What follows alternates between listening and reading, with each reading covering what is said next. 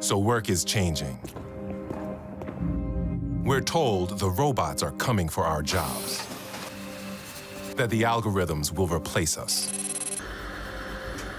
But we are resilient, born to adapt, wired to learn.